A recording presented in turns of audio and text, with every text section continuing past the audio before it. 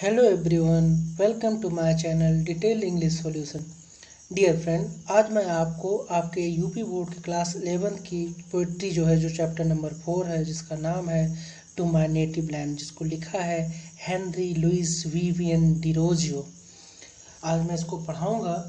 इसको पढ़ाने से पहले मैं आपसे ये ज़रूर कहना चाहूँगा कि अगर आप इस चैनल को पहली बार देख रहे हैं और आप मेरे नए व्यूवर्स हैं तो प्लीज़ बगल में जो रेड बटन बनी है सब सब्सक्राइबर को उसको सब्सक्राइब कर लीजिए। बेल आइकन दबा दीजिए लाइक कर लीजिए और अपने दोस्तों के साथ भी शेयर कर लीजिए ताकि उनको भी इससे फ़ायदा हो सके।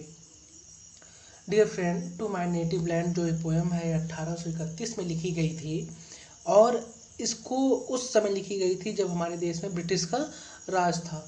तो उस समय जो है, ब्रिटिश लोग जो अंग्रेज़ थे हमारे देश के संस्कृत से, हमारे देश के सम्मान से बहुत ज़्यादा खिलवाड़ करते थे, उसको बहुत नुकसान पहुंचाते थे, जिसको देख के पोएट बहुत दुखी है, इसलिए अपने देश के सम्मान के लिए, अपने देश के साथ जो बुरा हो रहा है संस्कृत के साथ जो बुरा हो रहा है, देश के संस्कृत के साथ जो बुरा हो रहा है, उसको देख के बहुत दुखी है। इसलिए इसलिए उसने यह पोएम लिखा है। यह पोएम क्या एक सोनेट है, जिस पोएम में चौदह लाइन होती है, वो सोनेट कही जाती है। इस सोनेट को उसने लिखा है।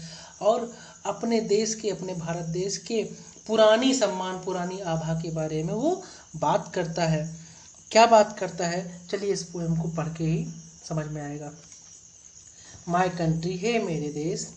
इन दाई डेज़ इन दाई डेज़ दाई में तुम्हारा तेरा होता है डेज़। जो तुम्हारे दिनों में आप ग्लोरी जो सम्मान हुआ करता था तुम्हारा पास्ट में बीत गया है। इन दाई डेज़ तुम्हारे दिनों में आप ग्लोरी जो सम्मान था तुम्हारा, जो आभा थी, जो प्रसिद्धि थी पास्ट वो पास्ट में बीत जाना होता है, वो बीत गया है, वो खत्म हो गया है। कौन कह रहा है? कभी कह रहा है, क्या हुआ हुआ करता था? अब ब्यूटियस एक सुंदर हेलो मीन्स होता है प्रभा मंडल चारों तरफ़ जिसको बोलते हैं।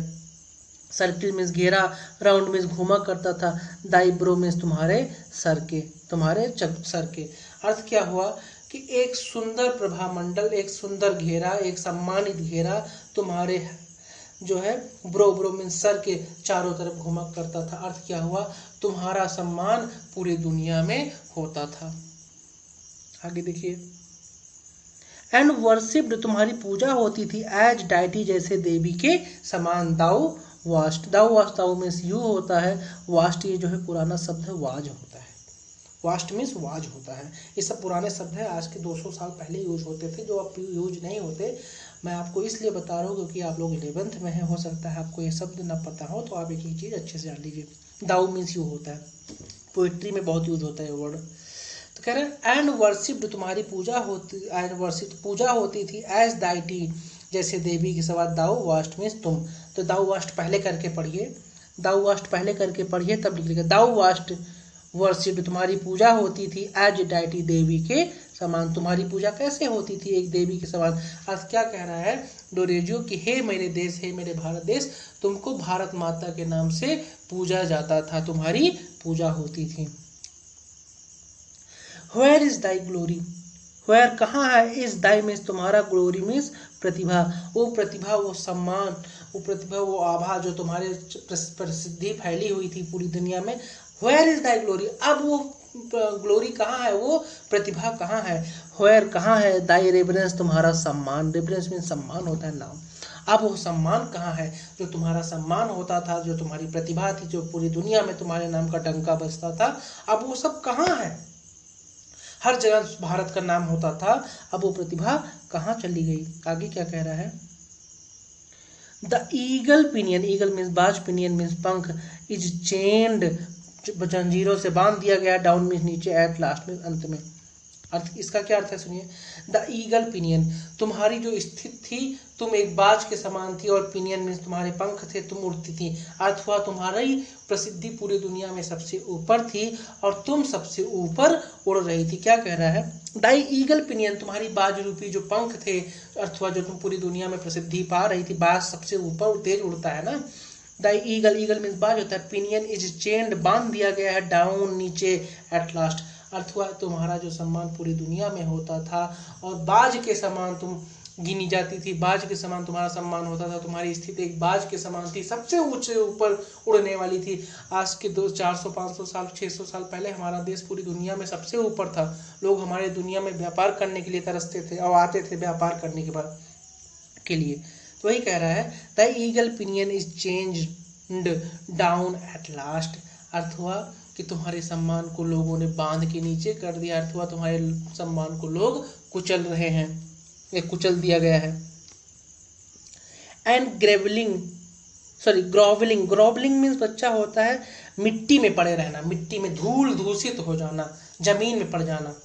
And grovelling in the lovely lovely means नीचे डस्ट में धूल art means are thou means you अब फिर दाऊ आर इधर कर लीजिए, इसको यहाँ पे करके पढ़िए, तब समझ में आएगा, लाइन बनेगी।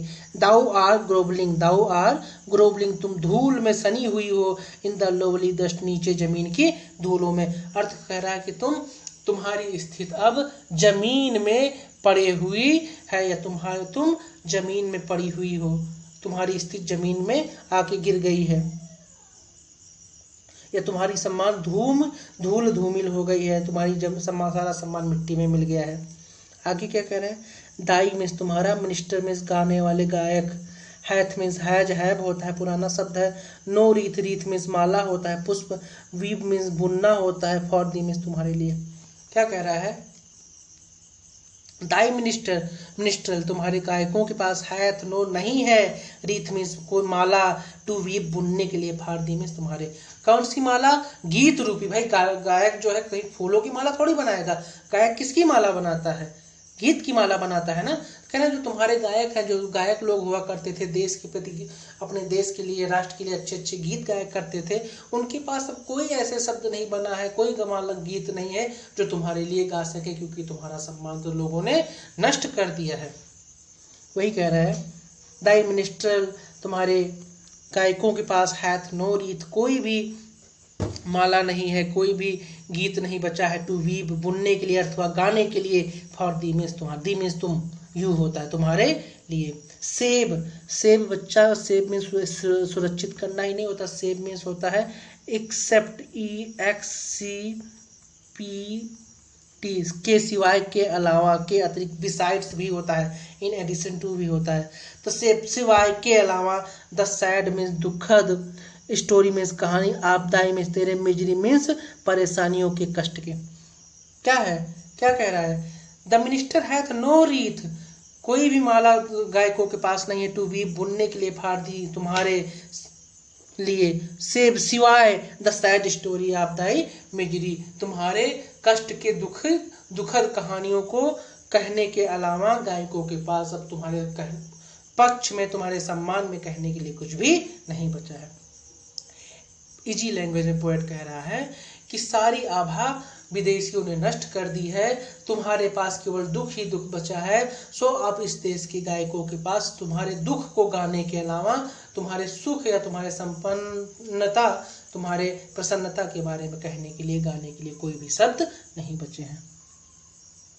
अब आगे क्या कह रहा है? वेल well, ठीक है let me dive dive means पानी में जो गोताखोर होते हैं उसको पानी के अंदर जो जाके तैरते हैं उसको डाइव करते हैं गोता लगाना कहते हैं अथवा अंदर जाने दो। इन टू द डेप्थ गहराई में आफ टाइम मीन समय के।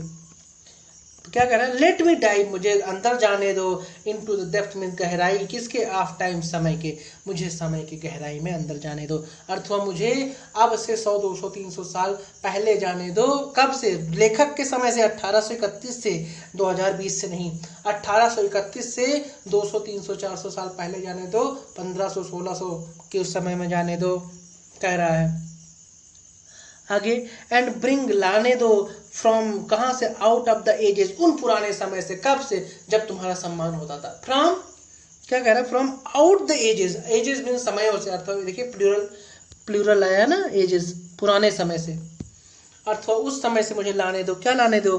दैट हैव रोल्ड हैव जो हो चुका है रोल्ड देखिए पास्ट प्रेजेंट परफेक्ट है। रोल्ड मीन्स बीत जाना चल, चला जाना। जो जा चुका है जो खत्म हो चुका है क्या? तुम्हारा आभा। एंड क्या लाना है? A few small fragments a few छोटे स्मॉल मीन्स मतलब अफ्यू मीन्स थोड़े स्मॉल मीन्स छोटे फ्रैगमेंट मीन्स खंड। आप दोज रेक्स जो टूटे हुए हैं सबलाइम मीन्स सम्मान के, प्रतिभा के, प्रसिद्धि के। तुम्हारी प्रसिद्धि के जो छोटे छोटे कण हैं, जो छोटे छोटे टुकड़े हैं, उसको हमें लाने दो। इसको फिर से समझिए।